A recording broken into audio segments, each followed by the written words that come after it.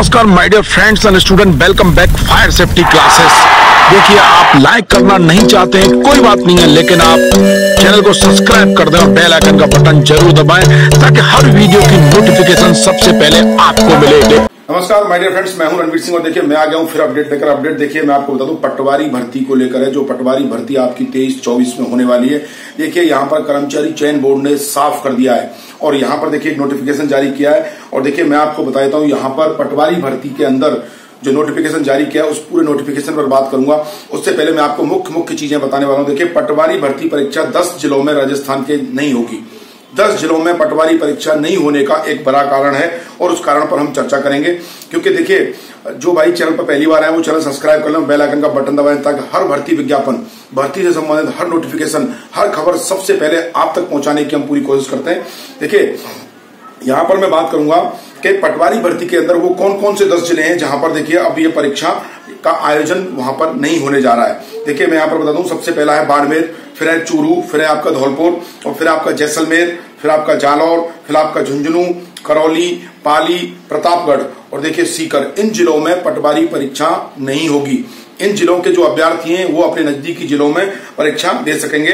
देखिए, यहाँ पर नोटिफिकेशन जो जारी किया था, वो इन सब चीज़ों को लेकर जारी किया था कि इन जिलों में परीक्षा नहीं होगी। और मैं आपको बता दूँ कि देखिए, यहाँ पर कर्मचारी चयन बोर्ड ने 2018 की 2018 से 2020 तक की जो एग्ज़ाम हुए थे, उन एग्ज़ाम को लेकर भी यहाँ पर कुछ अभ्यर्थियों को यहाँ पर देखिए, आजीवन कुछ अभ्यर्थियों के लिए तीन साल के लिए, कुछ अभ्यर्थियों के लिए सात साल के लिए यहाँ पर परीक्षा से बिल्कुल बैन कर दिया है। क्यों? कि वो कहीं ना कहीं नकल प्रकरण में पकड़े गए थे और ऐसा इन्होंने ये किया कि पूरे मामले को नकल को रोकने के लिए यहाँ पर देखिए कर्मचारी चयन बोर्ड ने एक्शन लिया है। वो 122 के करीब अभ्यर्थी ऐसे हैं। देखिए, मैं प्रेस नोट पढ़ के आपको बताता हूँ, इस प्रेस नोट के जो मुख्य मुख्य बिंदु हैं, उन पर हम चर्चा करेंगे। तो देखिए, यहाँ पर सीधा क्लियर इसमें दिया हुआ है कि देखिए, यहाँ पर प्रेस नोट जो इन्होंने जारी किया कर्मचारी चयन बोर्ड ने, उसमें देखिए यहाँ पर क्लियर इन्होंने लिखा है। देखिए, परीक्षा आयोजन से संबंध अधिकारी कर्मचारियों को विधिवत निर्देशों की अवहेलना करने अभ्यर्थियों के विरुद्ध कठोर दंडात्मक कार्रवाई की जाएगी। ठीक है? आगे चलते हैं। देखिए, परीक्षा केंद्र में अवांछित सामग्री ले जाना, नकल प्रकरण, नकल से संबंधित कोई भी सामग्री आप ले जाना। ठीक है? अभ्यर्थी के स्थान पर फर्जी अभ्यर्थी बैठाने वाला जो मामला है, ठीक है, डमी अभ्यर्थी जो बैठाते हैं, उसको लेकर भी यहाँ पर इन्होंने कहा है। तो देखिए, यहाँ पर अथवा प्रयास करने वाले अभ्यर्थियों को परीक्षा निरस्त की जाएगी और बोर्ड द्वारा आगामी समय में आयोजित परीक्षाओं में एक निश्चित अवधि से लेकर आजीवन तक अभ्यर्थी को यहाँ पर देखिए प्रतिबंधित किया जा सकता है। ठीक है, यहाँ पर कर्मचारी चयन बोर्ड ने एक बड़ा कठोर निर्णय लिया है। ठीक है, साथ ही देखिए राजस्थान सार्वजनिक परीक्षा अनुचित संसाधनों के उपयोग की रोकथाम अधिनियम उन्नीस सौ बानवे के अंतर्गत S I sorry F I R दर्ज कराई जाएगी। क्या करता है? एफ़ आई आर अभ्यर्थी के खिलाफ यहाँ पर दर्ज कराई जाएगी। देखिए, यहाँ पर आपको अपने ड्रेस कोड के अंदर ही पेपर देना है, ठीक है? आप यहाँ पर अब तक जो अनुचित नकल के जो साधन थे, उनका उपयोग आप यहाँ पर नहीं कर सकते। करेंगे तो आपका कैरियर यहाँ पर खराब हो जाएगा।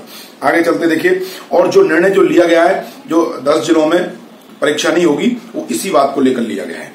क्योंकि वहाँ पर देखिए, नकल प्रकरण बहुत ज़्यादा मिले थे। अब तक पुरानी परीक्षाओं का आरएसएसपी ने यहाँ पर विश्लेषण किया, उसके बाद ये डिसीज़न उन्होंने लिया है। आगे चलते देखिए, निष्पक्ष पारदर्शी एवं सुचता पूर्ण तरीके से परीक्षा संपन्न कराने के दृष्टिगत निर्धारित नॉर्म्स अनुसार मतलब फ्लाइंग स्क्वाड ठीक है? फ्लाइंग स्क्वाड देखिए, राजस्थान प्रशासनिक अधिकारी, राजस्थान पुलिस सेवा के अधिकारी इसमें शामिल होंगे और आंतरिक सतर्कता दल प्रत्येक केंद्र पर, ठीक है ऑब्ज़र्व करने के लिए यहाँ पर लगाए गए और देखिए, ये कभी भी आपके पेपर के दौरान यहाँ पर कभी भी आप विज़िट कर सकते हैं और आपको यहाँ पर चेक कर सकते हैं। तो जो अभ्यर्थी पटवारी की परीक्षा देना चाहते हैं, वो देखिए साफ़ शुद्ध तरीके से परीक्षा दें, क्योंकि देखिए नकल करोगे तो आपको प्रतिबंधित कर दिया जाएगा और प्रतिबंधित हो जाओगे तो आप कोई भी परीक्षा में नहीं बैठ पाओगे।